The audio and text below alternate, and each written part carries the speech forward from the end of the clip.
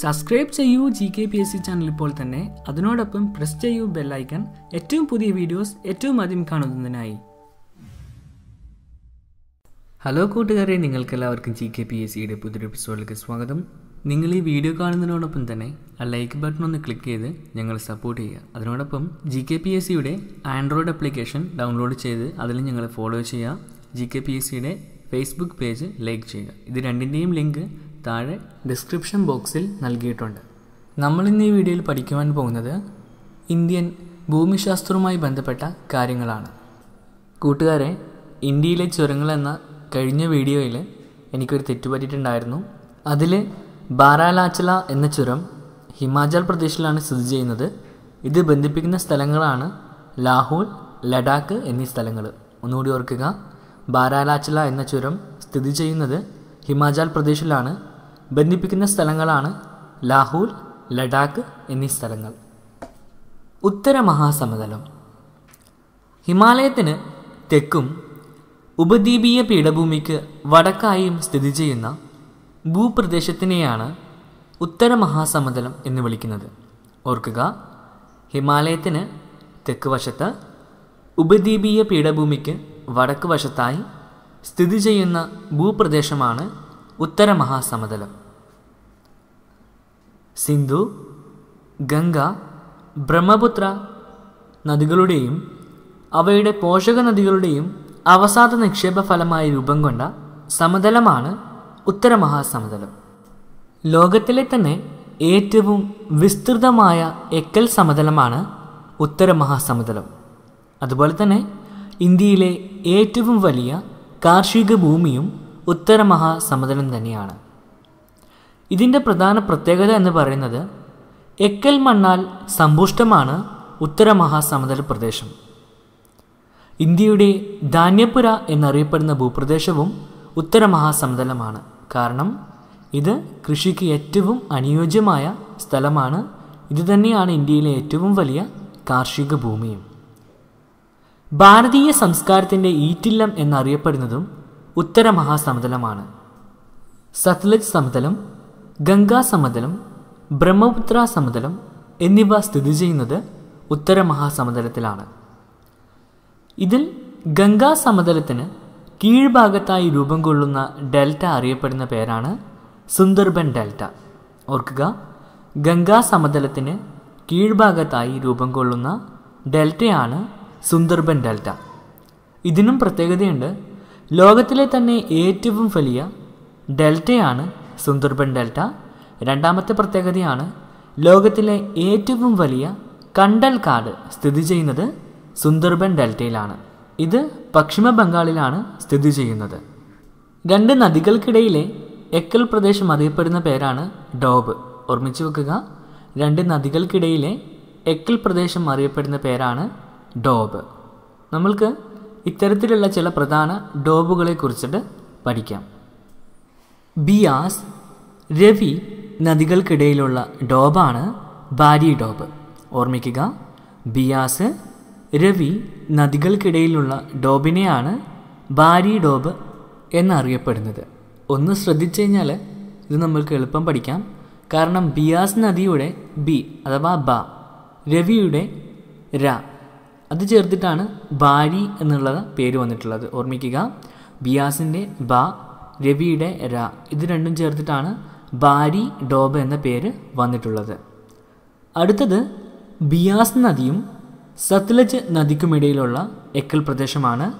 ഇതറിയപ്പെടുന്ന പേരാണ് ബിസ്ത ഡോബ്. ഓർമ്മിക്കുക ബിയാസ് നദിക്കും സത്ലജ് നദിക്കുമിടയിലുള്ള എക്കൽ പ്രദേശമാണ് ബിസ്ത ഡോബ്. അതായത് ബിയാസ് നദിയിൽ നിന്ന് ബി എടുക്കുന്നു. സത്ലജിന്റെ സ എടുത്തുകൊണ്ട് ബിസ്ത ഡോബ് ഇതുപോലെ എല്ലാ രണ്ട് നദികളുടെയും പേരുകൾ അതിൽ നിന്ന് എന്തെങ്കിലും ഒരു അക്ഷരങ്ങൾ ചേർത്താണ് ഡോബിന്റെ പേര് വന്നിട്ടുള്ളത്. ജലം നദിക്കും ഇടയിലുള്ള എക്കൽ പ്രദേശമാണ് ജാജ് ഡോബ് ഓർമ്മിക്കുക ജലം നദിക്കും ചിനാമ് നദിക്കും ഇടയിലുള്ള പ്രദേശമാണ് അഥവാ എക്കൽ പ്രദേശമാണ് ജാജ് ഡോബ് ഇതേപോലെ സിന്ധു നദിക്കും ജലം നദിക്കും ഇടയിലുള്ള എക്കൽ പ്രദേശമാണ് സിന്ധു സാഗർ.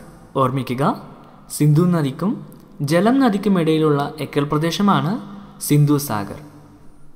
ഉത്തര മഹാസമതലത്തിലെ പ്രധാനപ്പെട്ട നാല് ഭൂപ്രദേശങ്ങളാണ് ബാബർ ബംഗർ ടറായ് ഖാദർ തുടങ്ങിയവ. ഓർമ്മിക്കുക ഉത്തര മഹാസമതലത്തിലെ പ്രധാനപ്പെട്ട നാല് ഭൂപ്രദേശങ്ങളാണ് ബാബർ ബങ്കർ ടറായ് ഗാദർ തുടങ്ങിയവ. ഇതിൽ രാജസ്ഥാനിൽ കാണപ്പെടുന്ന ഉത്തരമഹാസമതലത്തിന്റെ ഭാഗമാണ് മരുസ്ഥലി ബാഗർ. രാജസ്ഥാനിലെ മരുസ്ഥലി ബാഗർ സമതലങ്ങൾ രൂപീകരിക്കുന്നതിന് കാരണമായ നദികളാണ് ലൂണി സരസ്വതി നദികൾ. ഇനി നമുക്ക് ബാബറിനെ കുറിച്ചിട്ട് പഠിക്കാം. സിവാലിക് മലനിരകൾക്ക് സമാന്തരമായി എട്ട് മുതൽ പതിനാറ് കിലോമീറ്റർ വരെ വിസ്തൃതിയിൽ പാറക്കഷ്ണങ്ങൾ നിറഞ്ഞ ഇടുങ്ങിയ പ്രദേശത്തിനെയാണ് ബാബർ എന്ന് പറയുന്നത്. ഒന്നുകൂടി ഓർമ്മിക്കുക സിവാലിക് മലനിരകൾക്ക് സമാന്തരമായി എട്ട് മുതൽ പതിനാറ് കിലോമീറ്റർ വരെ വിസ്തൃതിയിൽ പാറക്കഷ്ണങ്ങൾ നിറഞ്ഞ ഇടുങ്ങിയ പ്രദേശത്തിനെയാണ് ബാബർ എന്ന് പറയുന്നത്. വ്യാപകമായ എക്കൽ അവസാദങ്ങൾക്കിടയിൽ ജലപ്രവാഹം അപ്രത്യക്ഷമാകുന്ന പ്രദേശത്തിനെയാണ് ബാബർ എന്ന് പറയുന്നത്. ഓർമ്മിക്കുക വ്യാപകമായ എക്കൽ അവസാദങ്ങൾക്കിടയിൽ ജലപ്രവാഹം അപ്രത്യക്ഷമാകുന്ന പ്രദേശമാണ് ബാബർ. കൃഷിക്ക് അനുയോജ്യമല്ലാത്ത പ്രദേശമാണ് ബാബർ. ഇനി നമുക്ക് ടെറായിനെ കുറിച്ചിട്ട് പഠിക്കാം. നമ്മൾ ആദ്യം പഠിച്ചു വ്യാപകമായ എക്കൽ അവസാദങ്ങൾക്കിടയിൽ ജലപ്രവാഹം അപ്രത്യക്ഷമാകുന്ന പ്രദേശമാണ് ബാബർ എന്ന്. അതുപോലെ തന്നെ ബാബർ പ്രദേശത്ത് നിന്ന് അപ്രത്യക്ഷമാകുന്ന ജലപ്രവാഹം വീണ്ടും ഉപരിതലത്തിൽ ദൃശ്യമാകുന്ന പ്രദേശമാണ് ടെറായ്. അതായത് ബാബറിന്റെ നേരെ ഓപ്പോസിറ്റ്. ബാബറിൽ വെള്ളം ഭൂമിക്കടിയിലേക്ക് ഇറങ്ങിപ്പോകുന്നു. ടെറായിൽ അത് വീണ്ടും പുറത്തേക്ക് വരുന്നു. ബാബറിനു തെക്കായി അതിന് സമാന്തരമായി സ്ഥിതി ചെയ്യുന്ന സമതല ഭാഗമാണ് ടെറായ് എന്നറിയപ്പെടുന്നത്. ബാബർ പ്രദേശത്തിന് തെക്ക് സസ്യജാലങ്ങൾ തഴച്ചു വളരുന്ന ഭൂപ്രദേശമാണ് ടെറായ്. ഇതെല്ലാം ഇമ്പോർട്ടന്റ് ആയ കാര്യങ്ങളാണ്. ഓർത്തു വെക്കുക. കാരണം ഇവിടെ നിന്നെല്ലാം ഒരു മാർക്കിന്റെ ചോദ്യം നമുക്ക് പ്രതീക്ഷിക്കാവുന്നതാണ്. Dudhwa national park. നമ്മൾക്ക് എല്ലാവർക്കും അറിയാം യു പിയിലാണ് ദുദ്വ നാഷണൽ പാർക്ക്. ഇത് സ്ഥിതി ചെയ്യുന്നത് ടെറായിലാണ്. ഇതേപോലെ തന്നെ ഇന്ത്യ വിഭജനത്തിന് ശേഷം പാകിസ്ഥാനിലെ കുടിയേറ്റക്കാർക്ക് കൃഷിഭൂമിക്ക് വേണ്ടി സ്ഥലം ഒരുക്കി കൊടുത്തത് ഈ ടെറായി എന്ന് പറയുന്ന സ്ഥലത്താണ്. കാരണം കൃഷിക്ക് അനുയോജ്യമായ സ്ഥലമാണ് ടെറായി കൃഷിക്ക് ഒട്ടും അനുയോജ്യമല്ലാത്ത സ്ഥലമാണ് ബാബർ. ഉത്തരമഹാസമുദ്രത്തിലെ ഏറ്റവും വിസ്തൃതമായ ഭൂപ്രദേശമാണ് ബംഗർ. ഓർമ്മിക്കുക ഉത്തരമഹാസമതലത്തിലെ ഏറ്റവും വിസ്തൃതമായ ഭൂപ്രദേശമാണ് ബങ്കർ ഉത്തരമഹാസമുദ്രത്തിലെ പഴയ എക്കൽ നിക്ഷേപം അറിയപ്പെടുന്ന പേരാണ് ബംഗർ. ഈ പ്രദേശം കൃഷിക്ക് അനുയോജ്യമല്ലാത്ത പ്രദേശമാണ്. കാരണം കാങ്കർ എന്നറിയപ്പെടുന്ന ഒരുതരം ചുണ്ണാമ്പു കല്ലുകളാൽ അഥവാ കാൽസ്യം കാർബണേറ്റ് സമൃദ്ധമാണ് ഈ പ്രദേശം. അതുകൊണ്ട് തന്നെ ഇവിടെ കൃഷിക്ക് ഫലപുഷ്ടമായ മണ്ണ് ലഭിക്കുകയില്ല.